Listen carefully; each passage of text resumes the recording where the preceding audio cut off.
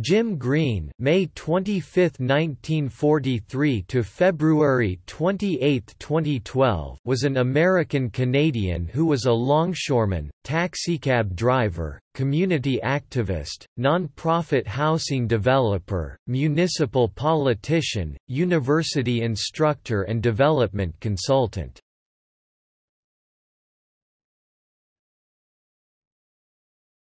Topic Early life and education Born in Birmingham, Alabama, Green moved to Canada to avoid being drafted for the Vietnam War. Green holds a Master's in Anthropology from the University of British Columbia, a Bachelor of Arts from the University of South Carolina, and has studied at the Sorbonne, the Millennium Film Institute in New York, and the University of Colorado.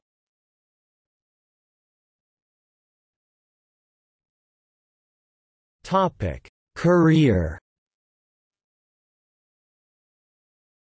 Early in his career, Green worked as a longshoreman and a taxicab driver. Green was an advocate for the city's downtown east side and led the development of many housing projects, including the experimental Woodwards building redevelopment designed by architect Gregory Henriquez. He was a development consultant for developers and non-profit community groups.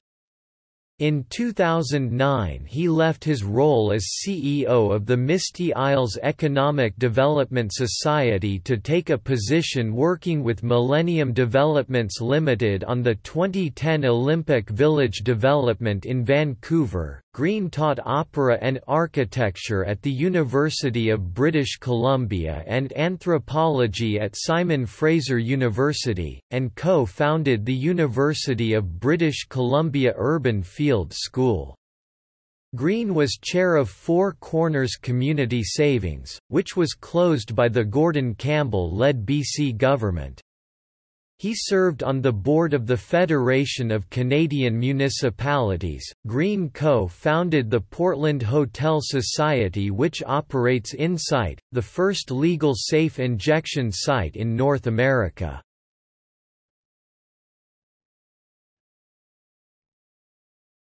Topic: Political career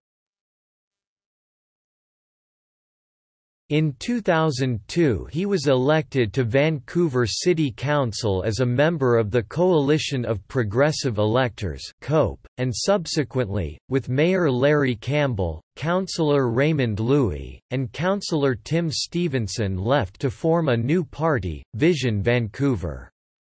Under the Vision Vancouver banner, he unsuccessfully ran for mayor in 2005, losing to Sam Sullivan by 3,747 votes. Some blamed voter confusion for his loss, as there was an unknown candidate named James Green who received 4,273 votes. It was the second time Green had run for mayor unsuccessfully, having been beaten as a member of COPE by then NPA Mayor Gordon Campbell in 1990. Six years later, Green again faced Campbell, this time in the 1996 provincial election for the MLA seat in Vancouver Point Grey. Green, a New Democrat, was defeated by BC Liberal leader and future Premier Gordon Campbell 12,637 to 11,074. In 2008, Green supported Gregor Robertson in his successful run for mayor of Vancouver.